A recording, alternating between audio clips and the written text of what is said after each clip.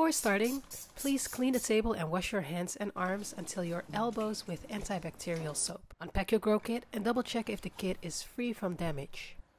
Open the corner of the lid and fill the grow kit with cold tap water until it's full. Use only tap water if drinkable and free from chlorine. Close the lid and let it soak in a cold place for 9 to 12 hours. Open the corner and drain all excess water out. Pour 150 milliliters of clean tap water in the filter bag. Place the grow kit in the filter bag on top of the water and remove the lid. But keep the lid for the next flushes. Do not throw away. Also, do not remove the filter. Spray water on the sides of the bag, fold the top, and close with the clip. Now place the bag in a bright place with indirect daylight with temperatures between 23 and 27 degrees.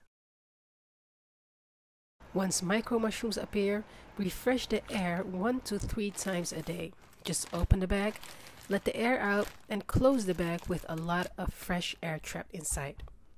Once the cap of the mushrooms are almost fully open, pluck them with a slight twist. When everything is plucked, you can start with the second flush. Just go to step 1 and repeat the process.